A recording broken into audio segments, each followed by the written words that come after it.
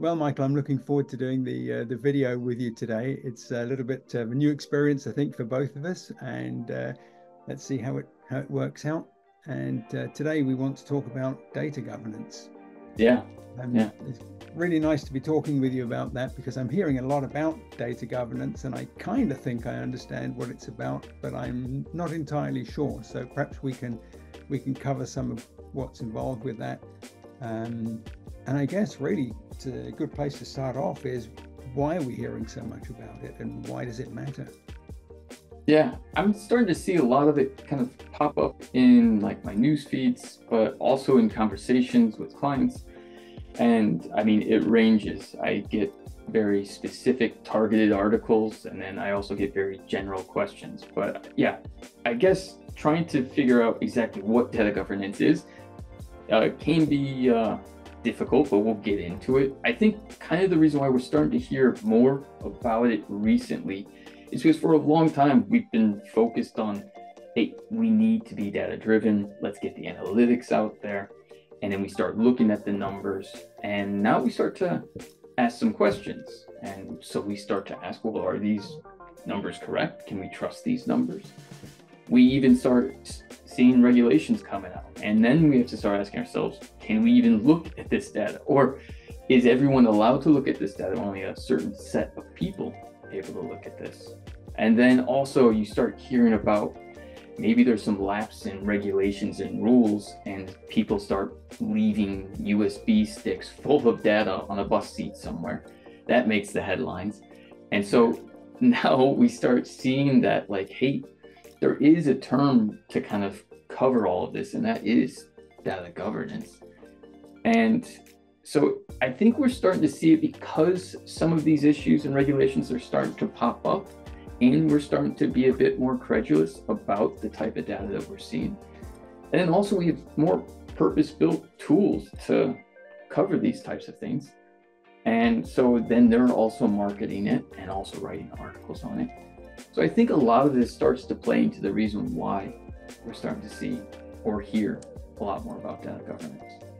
Yeah, it almost sounds like we've been so successful in driving self-service. There's so much data, so much information out there, and it's become so critical. Um, it, it, it's just got to. It's almost like the pendulum is swinging uh, back the other way, right. saying, "Oh, you know, we've, yeah. we've created the Wild West here, and we need to get it under control." Yeah, no, that, that's a really good point. I do think there is a lot to be said about um, you know, that's been driven by the self-service point. I think it's a really good point. Yeah, yeah, I think so. Um, so data governance uh, covers a lot of aspects, doesn't it? You've mentioned a couple of them, I think, uh, just just now. But um, you know, I think uh, I've got a few ideas about what you'd have to look at to, to do this well. Um, but if you if you you know if we had to put a couple of headlines together to say what does what does it encompass? What is it really? Um, are we able to define a few kind of chapters, a few issues that really kind of come to the fore? Yeah, um, it's a big question. Um, I guess if you're trying to sum it up in one sentence, it revolves around making sure that the right people have the right access to the right data. So this That's covers. Way of putting it. Yeah. Like yeah. That. And it, we have to think about, you know, access and compliance, uh, making sure that we're compliant with the regulations that are out there, maybe not just in our own country, but then also in other countries and what requirements they have. So, yeah, I think that's probably a good umbrella statement. But then I think there's a lot of things that fall underneath of it. So regulation's definitely one of it. But then you also have kind of access is a big part of it. And not just access, but also discoverability. Let's say that you're trying to build a dashboard or you need to find a table out there. If you can't find that table, then there's a chance that you might end up asking somebody to recreate the table. Then now we have duplicate tables. Maybe it's created in slightly different matter so that Now we have slightly different numbers. Now we have an issue of which one do we actually trust.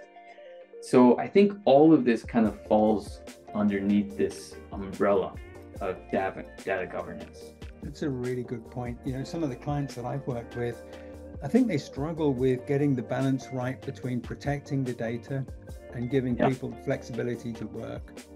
You know, I've seen uh, in organizations a lot of effort going into security and who can access what. And then, you know, they go ahead and download the data into Excel and all of that yeah. is gone, right? Yeah. yeah.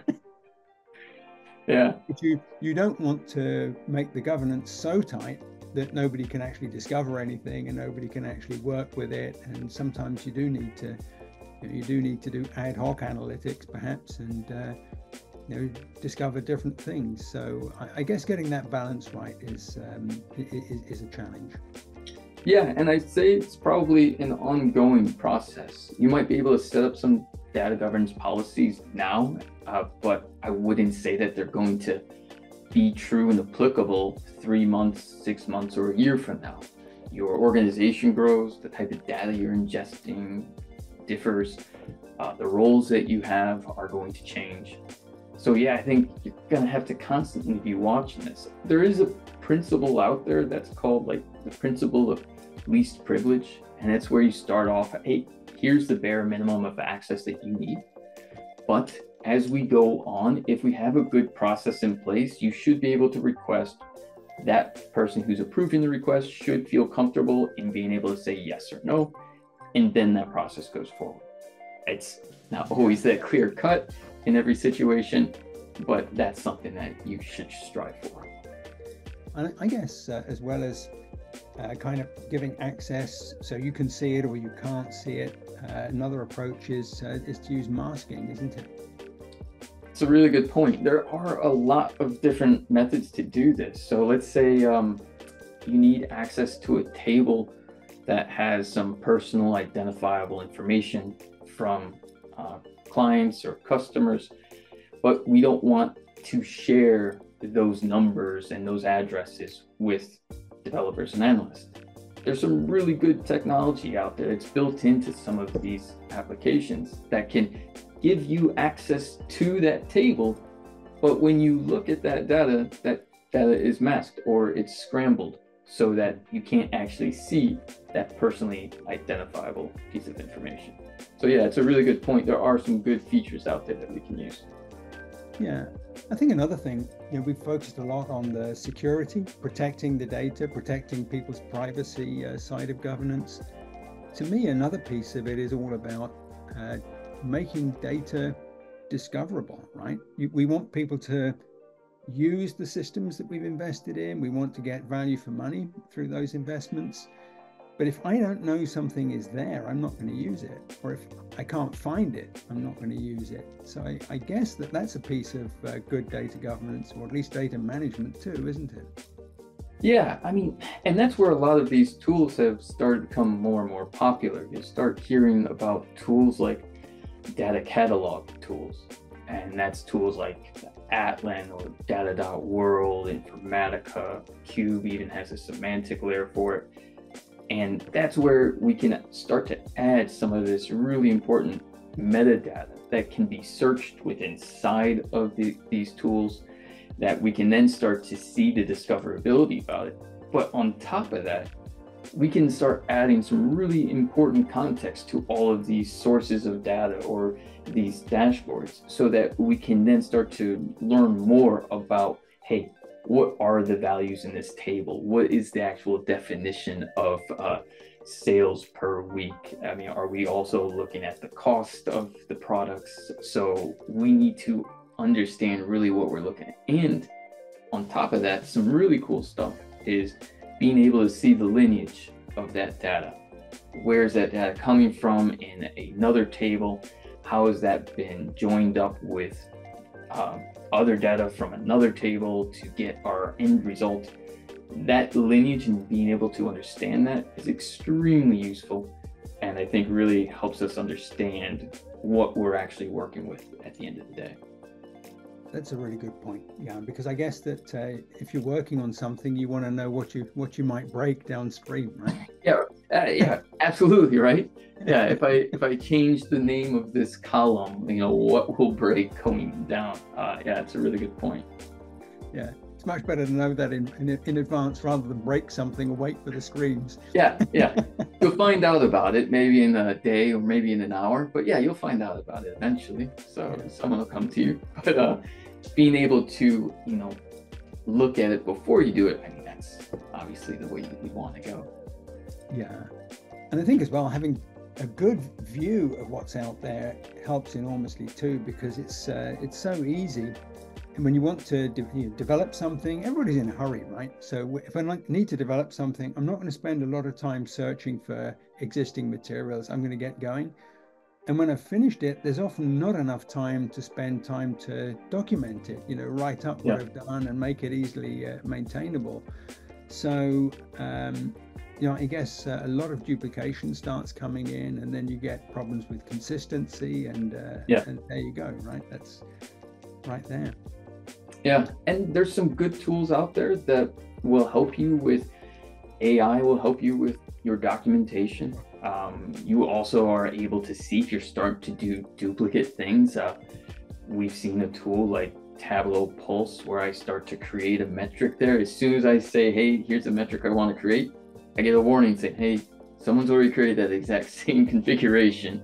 It'll take me to it. And I actually really love that uh, feature uh, so that we just don't get all of these duplicate metrics.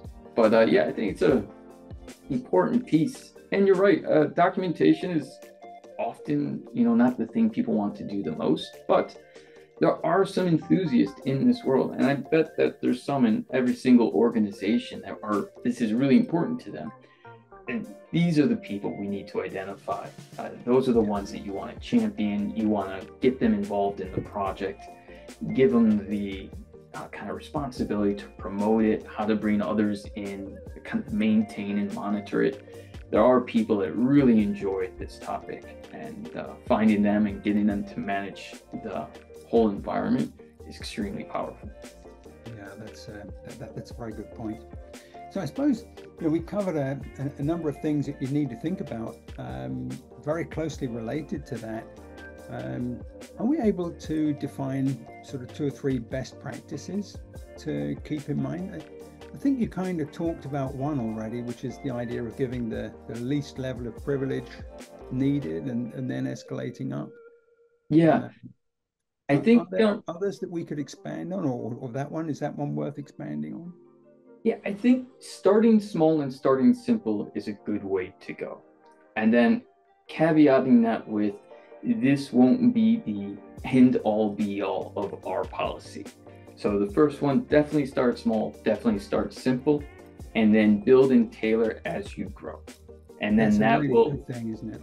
Because yeah. if you if you give somebody access or you give somebody permissions and you then decide you've gone too far, it's very hard to pull that back in, right? You usually end up upsetting people or breaking stuff again. So yeah, yeah it's better to start small and then give. I agree yeah. with that. So that's a big part of it. A second part of it is like we were just talking about earlier. Uh, find that community. Find that community who is really passionate about data governance and get them involved in this type of project and get them spreading the word and talking to others. Uh, have them act as stewards. It doesn't mean that they have to end up controlling writing all the documentation, but they're the ones that can follow up with peers about getting more documentation. So finding those champions and getting that buy-in, I think, is extremely important. Do you know? I like the way you've uh, you've mentioned people as well, because this isn't just a tech subject, is it? It's definitely no. about people and culture. Yeah. just anecdotally, uh, you know, documentation isn't always it isn't always the analyst that doesn't want to do it. I I actually had the experience of uh, working with an analyst that very much wanted to document the projects, but the management just wouldn't give them time. They said, no, no, no, no, we'll do that. We'll do that later, mañana. yeah. And then you build up this technical debt, right? I, I love the term yeah. technical debt. yeah, right. I I can't tell you the amount of times I've gone into building or developing something. I got it working, I was on a deadline, and finally it's working. It's out there, and I'm very happy about it. Only to be asked to come back to it a month later change a few things and I look at it, I go, I, I, I don't know why I was doing it this way. I didn't leave myself any breadcrumbs to follow back. And, Who built uh, this? yeah. And so it's just, uh, I, it's extremely important to get it in there. And whether that's through uh, simple, you know, just uh, docs that we keep in a shared folder somewhere, or whether it's a robust system that can help you with AI and make sure that you have documentation. Either or is fine. And like you said, it this is more around methodology. It's not around tooling. There are tools to help, but having a good knowledge base is definitely a key piece of this. Yeah, yeah, definitely. I, I, I agree with that. That's definitely been my experience too. So if we yeah, we've talked a lot about what it is and, and best practices. If if I'm interested in that, why might I talk to Interworks? Why might I come out to uh, to guys like ourselves and uh, and look for help? I mean, it all sounds pretty obvious, right? Pretty easy.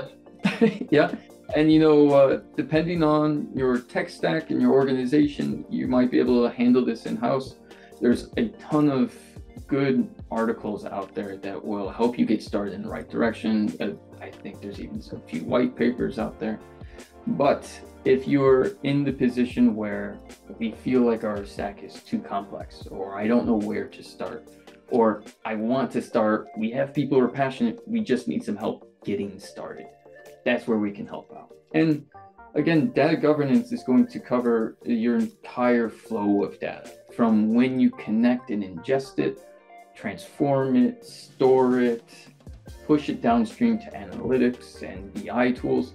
It has to cover that whole gambit. So uh, we can help out with any part of that journey, or we can also help out with the whole journey. If you'd like to do a health check on your governance policies in your data warehouse, we can help you with that. If you'd like to map out what it looks like end to end and you need some of this strategy and mapping that out and getting that vision set, we can also help out with that. Or you might have already decided, hey, we're going to go full in on this. We have a tool, um, but we don't really know where to start. We don't have the best practices. We can also get you started with that. So there's a couple different ways that we can help. Yeah. You know, it strikes me as uh, life as a consultant, we work with so many different organizations, uh, different sizes, different uh, levels of maturity, different um, areas that they're working in. You know, you think about pharmaceuticals, healthcare, where security is really very, very uh, critical. Uh, other areas where it's still critical, but maybe not quite to the same extent. Or, you know, larger organizations that really have to cope with tens of thousands of users, or uh, you know, a small, uh, a smaller startup that's working with a handful of people in an office. We cover all of that, and I think the nice thing is we see so many different ways of approaching it. Uh, we see uh, we benefit from all that experience that's out there working with different organizations.